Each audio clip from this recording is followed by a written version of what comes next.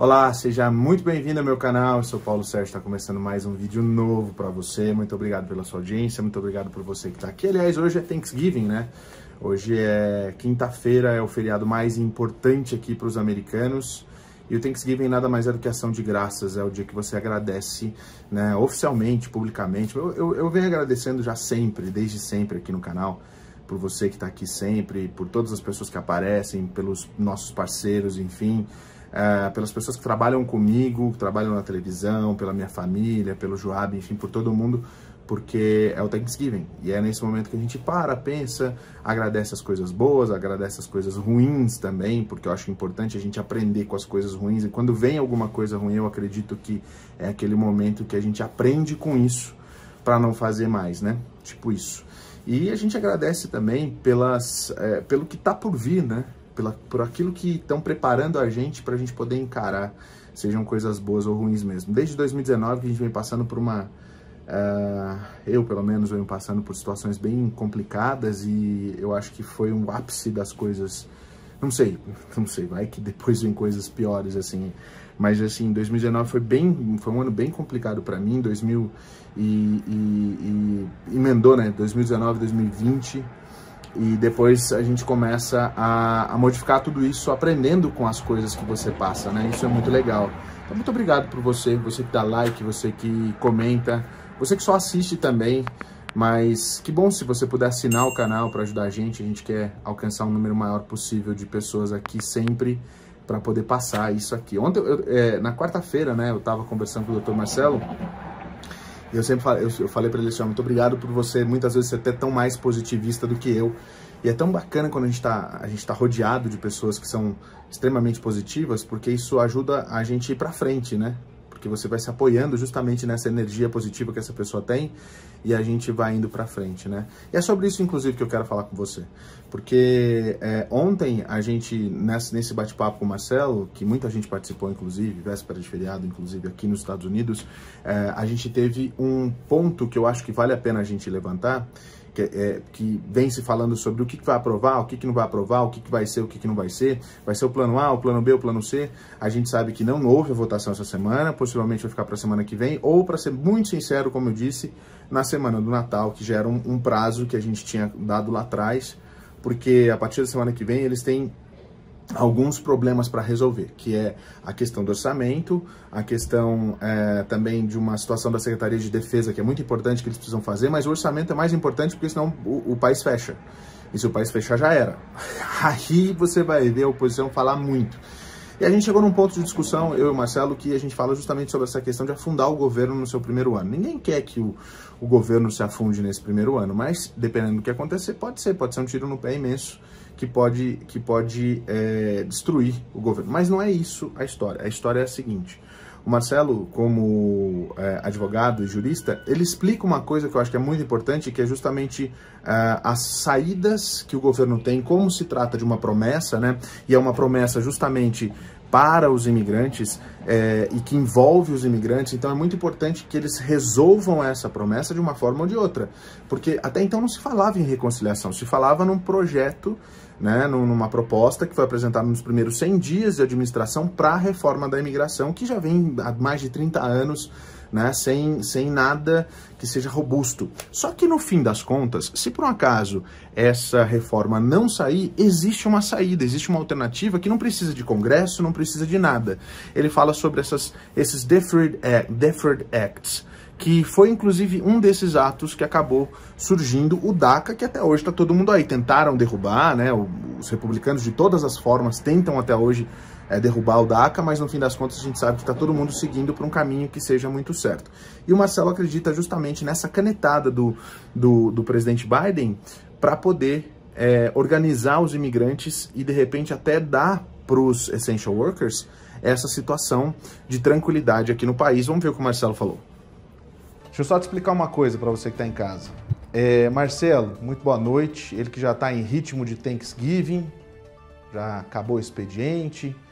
Ela está tentando salvar o emprego dela, né? Dando esse sinal de que vai aprovar o plano C. E se ela aprovar esse plano C, que é horroroso, mas é o que vai ser no fim das contas, se for, né? É, é, é, a tentativa é essa, de sal, porque é, com todos aqueles de democratas pedindo a cabeça dela, a Kamala Harris apagada, precisando fazer alguma coisa para ressurgir das cinzas, é bem improvável que ela vai rodar nesse emprego aí, né? Com certeza, Paulo. Não se esqueça que se os democratas não conseguirem passar alguma coisa interessante para os imigrantes, eles não, talvez não tenham um voto latino na próxima eleição ano que vem. Então, isso aí pode ser final para eles, né? Então, é, eles têm que passar alguma coisa. Eu acredito que é, ela a, aceitando esse plano C, eu não sei que mudanças que ela vai sugerir, né, para esse plano C. Eu esperava que fosse uma data mais próxima né, do que 2011, 2010, mas pelo menos é, algumas pessoas vão poder se legalizar. Nem todos eu queria que realmente tivesse passado pelo Essential Workers, porque ia ser muito mais abrangente, muito mais pessoas iriam é, ter a legalização, mas eu não ficaria surpreso, por exemplo, se o, o presidente desse uma ação executiva, uma ordem executiva, no caso, é da mesma forma que o Obama fez com o DACA, isso e sobrevive até hoje a ordem executiva dele, e ele dá um status com permissão de trabalho, tudo isso para quem trabalhou durante a pandemia. Então, agora, Marcelo, só te cortando, mas na realidade essa questão é justamente o que a, a Alessandro Cássio Cortez e todos os outros parlamentares que são pró-imigração, que assinaram aquela carta que mandaram ontem para o Senado, estão falando. Ninguém aguenta mais ficar dando é, autorização de trabalho, mais cinco anos de autorização de trabalho, mais cinco anos de autoriza autorização de trabalho no país que essas pessoas escolheram para morar, né? Para ser a casa delas, né, inclusive.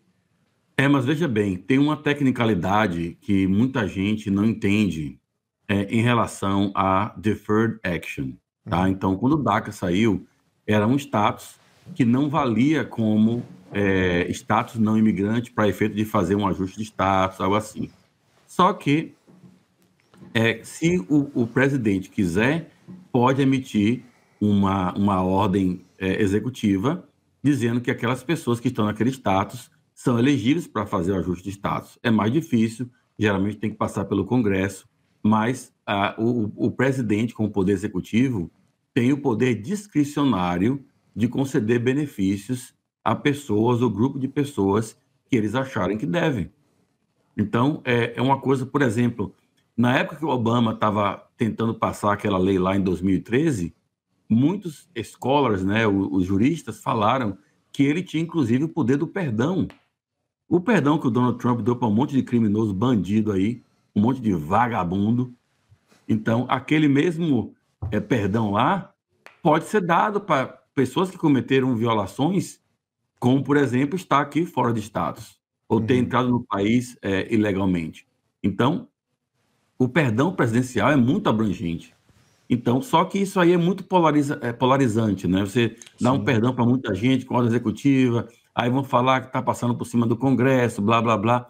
Só que o Congresso está travado, né? Então, é, eu não costumo é, esperar coisas que não tem nenhuma, nenhum precedente mostrando que vai acontecer, nada, nenhum, nenhum indicativo de que vai acontecer, mas eu não ficaria surpreso se após essa lei passar aí, lá para o início do ano que vem, o Biden não, não fizer uma ação executiva é, é, dando esse poder a essas pessoas de permanecerem no país e ficarem aqui e conseguirem o status. Aí depois, como vai chegar depois para ter o status definitivo, são, outros aí são 500. outros 500, né?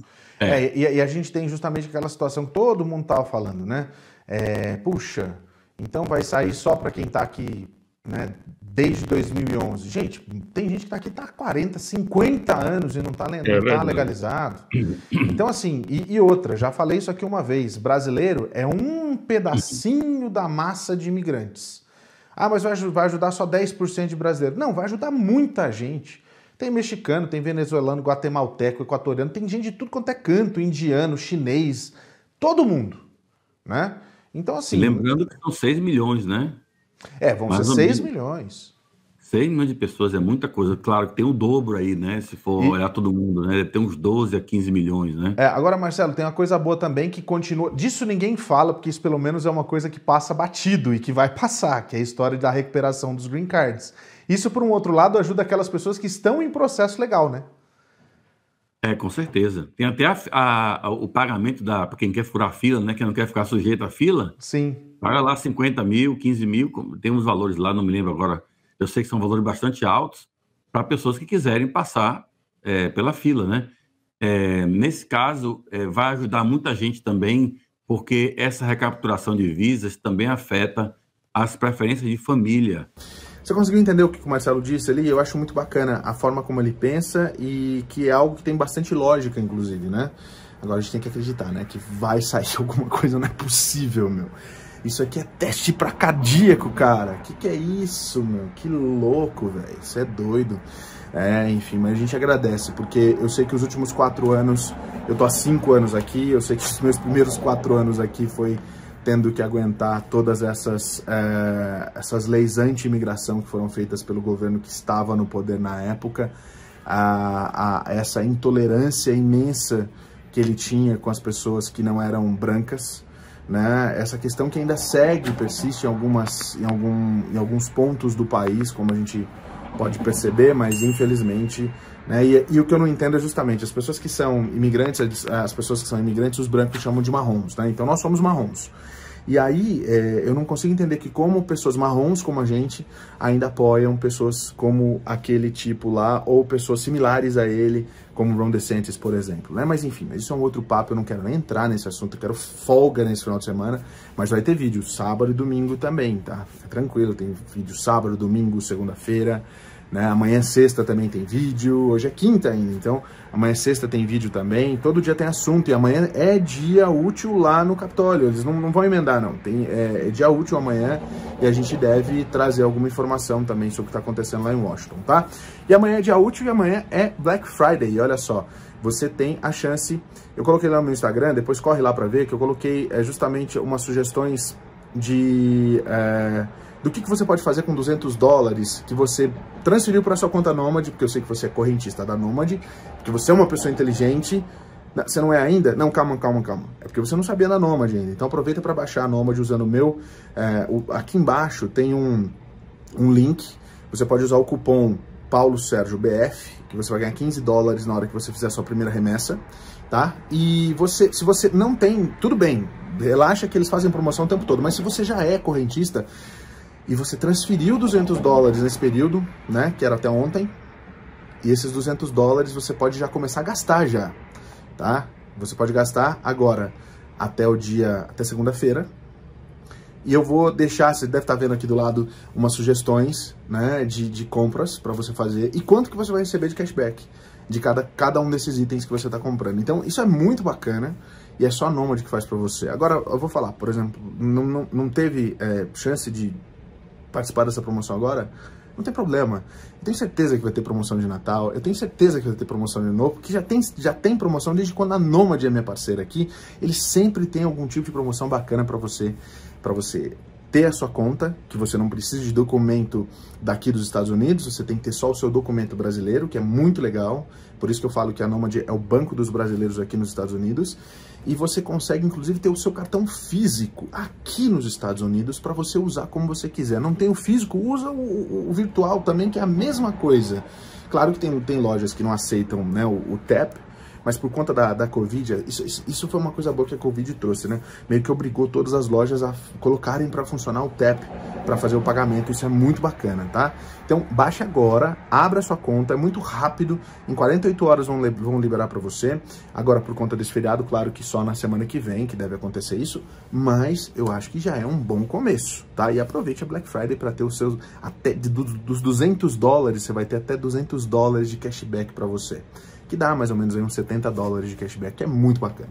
Então corra lá para Nomad, tá? Agora, se você quer fazer o seu visto de estudante ou o seu visto de turismo, aproveita para fazer com a gente da PJ Visa. A gente já a partir de dezembro agora está aumentando o nosso time e eu tenho certeza que você vai continuar sempre com a mesma qualidade de atendimento, né? E vai ter mais gente, inclusive, para atender. A gente vai conseguir atender mais gente. Para você que quer vir aqui fazer turismo, tá liberado ainda, apesar do, do desse aumento é, dos casos né, que estão acontecendo agora. É, a gente teve um número de casos absurdo nesses, nessas últimas 24 horas. A gente sabe que não há nenhuma previsão de restrição novamente, apesar de países na Europa estarem fazendo essas restrições. Mas corra para fazer o seu visto, porque os consulados devem continuar emitindo o visto de turismo e o visto de estudante. Então, vem fazer o seu, seu visto com a gente, a gente explica tudo como é que funciona o processo. E claro que quem decide é o agente consular, mas você vai ter a sua, a sua eu e você, nós vamos conversar, eu vou te explicar tudo a respeito do processo, vou te dar todas as dicas em cima do que é a sua história. É tudo muito personalizado, por isso que a gente gosta sempre dos nossos clientes, a gente fala que são muito mais do que clientes, né? Obrigado mais uma vez pela sua audiência, um beijo no seu coração, fique bem, até o próximo vídeo. Happy Thanksgiving, aproveito para agradecer, ainda dá tempo. Aproveita para entender um pouquinho mais da cultura americana. E hoje eu não estou no SBR News. Hoje quem está é o G Ferreira, mas eu volto para o SBR News, acho que sexta-feira ou segunda-feira, enfim, eu não sei o que eles decidiram lá na minha folga. Mas enfim, a gente está aí. Tô, tô no Instagram, tô no Instagram o tempo todo. Valeu, beijo, tchau.